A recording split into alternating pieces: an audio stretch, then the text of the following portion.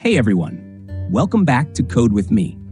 In this lesson, we're diving into one of the most crucial topics in C programming, dynamic memory allocation. This is an advanced but super important concept that gives you full control over how your program uses memory. By the end of this session, you'll understand how to use malloc, calloc, realloc, and free, how to properly manage dynamic memory, and how to avoid memory leaks. And to put it all into practice, we'll build a program that dynamically allocates memory for a matrix and performs matrix addition. So, let's get started. All right, let's first understand what dynamic memory allocation is. Normally, when we declare variables or arrays in C, the memory is allocated at compile time. This means the size is fixed, and we can't change it later. But what if we don't know the size in advance? That's where dynamic memory allocation comes in it lets us allocate memory at runtime, making our programs more flexible. Now, let's talk about the four key functions used for dynamic memory allocation in C malloc, calloc, realloc, and free. First, malloc, which stands for memory allocation. It reserves a block of memory but does not initialize it. Think of it like reserving a hotel room. You have a space, but there's no furniture inside. Here's an example. int ptr, ptr, int malloc 5 size of int.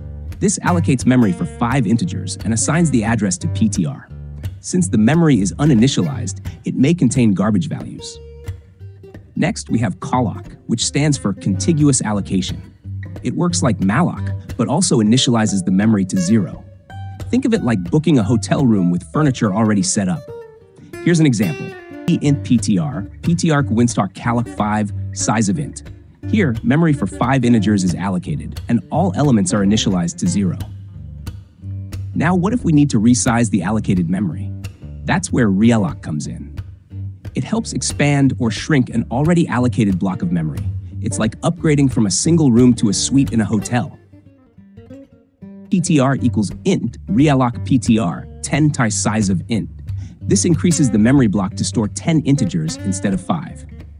Finally, we have free, which is used to release allocated memory when we no longer need it. If we don't free memory, we might create a memory leak, where memory keeps getting used up without being released. Here's how we free memory. Free, PTR, PTR equals null. Setting PTR to null prevents accidental access to freed memory, avoiding segmentation faults. Now, let's apply what we've learned with a real-life example. We'll write a program to dynamically allocate memory for a matrix and perform matrix addition. Here's the code.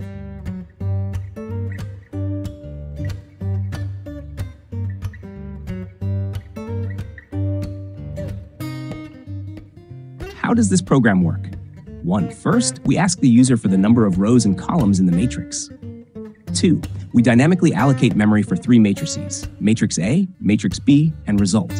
3. We take user input for matrix A and matrix B. 4. We add corresponding elements of matrix A and matrix B, storing the result in result to J. 5. We print the final result. 6. Finally, we free all dynamically allocated memory to avoid memory leaks. Let's see an example. If the user inputs matrix A 1, 2, 3, 4, 5, 6, matrix B 7, 8, 9, 10, 11, 12, the output will be 8, 10, 12, 14, 16, 18. And that's it.